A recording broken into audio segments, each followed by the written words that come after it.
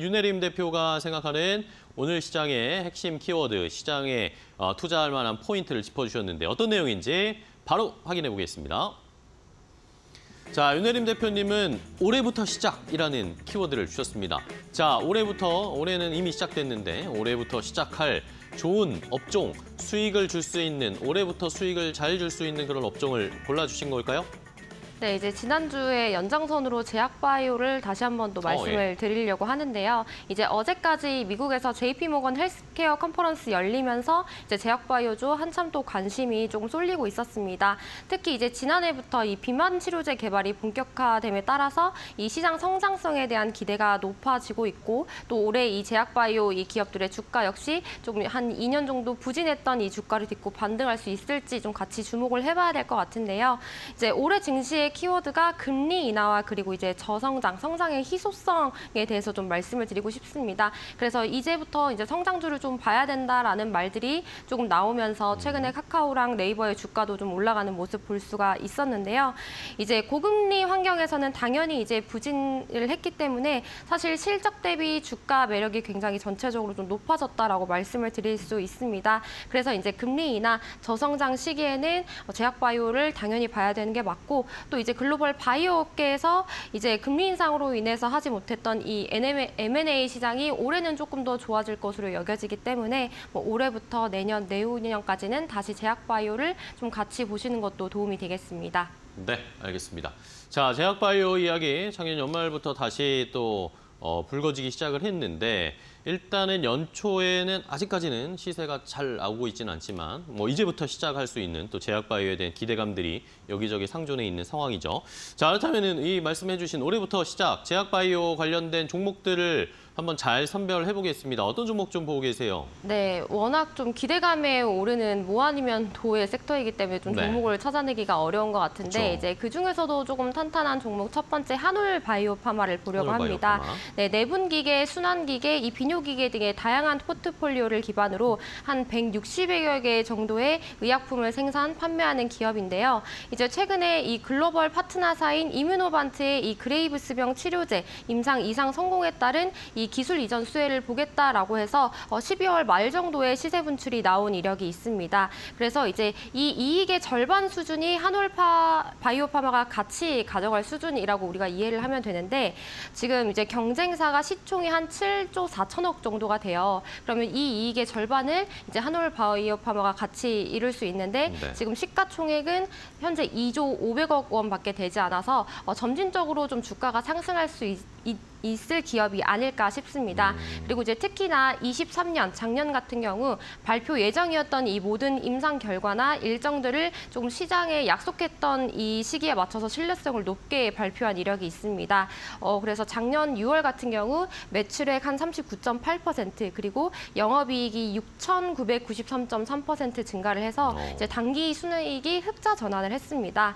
그래서 이제 사실 바이오 업종들이 이렇게 이익을 내기가 조금 힘든 데 이제 매분기 적자만 내는 이 신약 개발사와 달리 이미 어느 정도 매출과 이익 궤도가 좀 올라탔다라고 말씀을 드릴 수가 있고요. 뭐 그래도 이제 당장의 배당금이나 이런 것들은 없을 수 있겠지만 이제 향후 27년 뭐 28년 이때부터 본격적으로 매출이 찍히기 시작할 거기 때문에 이제 trading 관점으로 보셔도 좋을 것 같고 네. 아니면 내가 제약 바이오를 조금 한 1, 2년은 보고 길게 모아난다, 나간다라고 생각했을 때 같이 보시면 좋은 기업일 것 같습니다. 네, 좋습니다. 첫 번째 한올 바이오 파마를 선택을 해 주셨어요. 단기적 trading도 괜찮고 중장기적으로도 끌고 갈 만한 종목으로 하나 소개시켜 주셨고 하나 더 볼까요? 어떤 종목 고르셨어요? 네, 이제 올해도 AI 붐이 좀 같이 일어날 것 같아서 이 제약 바이오 쪽에서도 AI 관련된 어, 네. 거를 같이 보면 좋을 것 같아서 이번에는 신테카 바이오를 신테카 보려고 바이오. 합니다. 음. 네, 유전체 빅데이터와 이제 인공지능 신약 개발사로 이제 유전체 빅데이터 기반 AI 신약 개발 회사인데요. 이제 최근 글로벌 비임상 임상 수탁 기관이 전문 기업인 코어스템 캐몬과 이제 AI 신약 개발에 필요한 비임상 서비스 및 사업화를 위한 협약을 체결 했습니다. 그래서 이번 협약을 통해서 이제 합성 신약 후보 물질을 발굴을 하고 인프라를 확충할 계획을 갖고 있는데요. 이제 이 신테카 바이오의 주가를 끌어올릴 수 있는 성장 동력은 이제 인공지능 신약 개발이 될 수가 있겠죠. 하지만 이제 모든 바이오 업체들이 그렇듯 신약 개발이 사실 쉽지가 않고 많은 자금이 필요하기도 하고 또 이제 좀 시간이 오래 걸립니다. 보통 이제 전통적으로 신약을 개발하는데 한 15년 정도가 걸린다고 하더라고요. 그런데 이제 이 기간을 최소한으로 줄일 수 있는 방법이 핵심이고 이제 그 역할을 앞으로 AI가 할 것으로 보여지기 때문에 어, 특히 이 부분에 있어서 성공률이 높은 편이라고 합니다. 그래서 이제 바이오 업체 보실 때 이 AI 제약 바이오도 같이 보시면 좋을 것 같고요. 이제 AI 신약 시장도 2021년에 4억 1,320만 달러에서 이제 22년에는 6억 980만 달러로 커졌고 이 정도면 이제 매년 한 45%씩 성장을 하고 있다라는 뜻이기 때문에 지금의 속도가 그대로 간다면 향후 한 2027년 정도 됐을 때는 이제 40억 350만 달러에 이를 것이라는 전망으로 보고 있습니다. 향후 성장성이 기대되는 시장이기도 하죠. 그래서 신테카 바이오가 이 AI 신약 개발사 1호로 앞으로의 주가를 좀 기대해 볼 수 있지 않나 싶고요. 어, 이제 사실 당장에는 올라갈 수 있는 성장 동력이 높진 않습니다. 지금 아직 거래량도 미미하기 때문에 급하게 보시기보다는 이제 시장의 상황 그리고 업황을 보면서 같이 보시면 좋겠습니다. 네, 알겠습니다. 자, 신테카바이오까지 제약바이오 종목 하나씩 골라주셨어요. 이, 이 역시 제약바이오 쪽에서도 AI가 접목된 관련된 인공지능 접목된 관련된 어, 종목들을 또 살펴봐야 하겠습니다. 자, 그렇다면은 올해부터 시작할 수 있을까요? 제약바이오 쪽 관련된 이 키워드 저희가 이상엽 이사님께도 알려드렸습니다. 이상엽 이사님은 제약바이오 쪽에 어떤 쪽에 좀 주목하고 계세요? 네, 앞에서 이제 신약 개발 AI를 소개해 주셔갖고 네. 저는 이제 의료 AI를 음, 네, 좀 네네. 이렇게 말씀드리려고 하는데 예, 단연 루닛을 좀 말씀드리려고 루닛, 합니다. 어. 네, 어, 루닛이 올해 이제 미국 진출 원년입니다. 이제 볼, 볼파라 이제 인수를 통해서 미국 진출 원년이 될 텐데. 음, 이 유방조영술 AI 솔루션 이제 개발 기업이죠. 볼파라가. 근데 이게 미가, 미국 시장 점유율도 높고 또 이제 마이크로소프트와 이제 7년 넘게 이제 협력을 진행하고 있기 때문에 루닌 역시 이제 마이크로소프트뿐만이 아니고 또 빅테크들과의 또 업무 협력 기대감도 저 열어볼 수 있다는 거 중요한 것 같은데 음, 일단 자금 조달 구체적 어떻게 좀 자금 조달을 할지 그 부분이 좀 확정되는 게 중요할 것 같다라는 네. 거는 체크하시면 좋을 것 같고요. 그리고 또 루닛 AI 솔루션을 이제 도입한 의료 기관 수가 뭐 지난해 11월 기준으로 해서 한 2개월 전인데 한 3천 곳을 돌파를 했는데 어, 올해 같은 경우는 인사이트 어, 루닛 인사이트가 이제 본격적으로 이제 매출 증가 기대감이 있고요.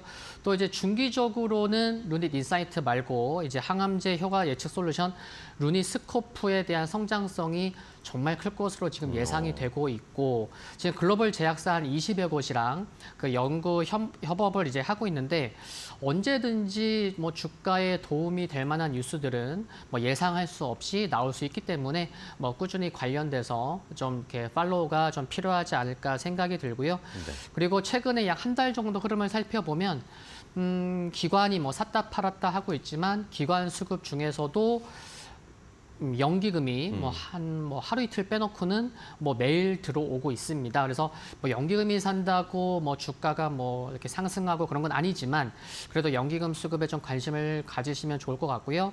그리고 주가가 뭐 지금이 뭐 바닥이라기보다는 좀 최근 저점이 좀 지켜지는 좀 바닥을 단기적으로라도 좀 다지는 모습이 좀 확인이 되는 게 중요하다는 네네. 것도 뭐 매매하시는 데 있어서 좀 참고하시면 좋을 것 같습니다. 네, 알겠습니다. 자, 이렇게 루닛까지 의료 AI 쪽에 역시 또 관심을 가져야 한다. 최근에 뭐 의료 AI 예, 조금 눌린 상황이 예, 있지만 말씀해 주신 것처럼 바닥을 다시 한번 잡고 올라갈 수 있는 예, 지금 또 기회를 엿보고 있는 상황이기 때문에 루닛도 저희가 잘 살펴보면서 연기금 매수가 계속 좀 들어오고 있다는 것도 체크할 포인트로 짚어주셨습니다.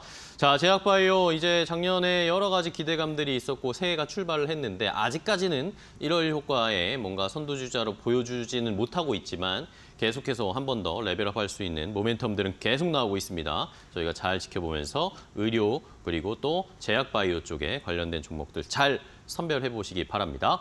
자, 오늘 두 분과 함께 시장을 정리를 해봤습니다. 키워드로 오늘 시장 정리해 주시고 전략과 종목까지 소개해 주셔서 너무 감사하고요. 두 분 다음 시간에 또 뵙도록 하겠습니다. 오늘 고생 많으셨어요. 고맙습니다.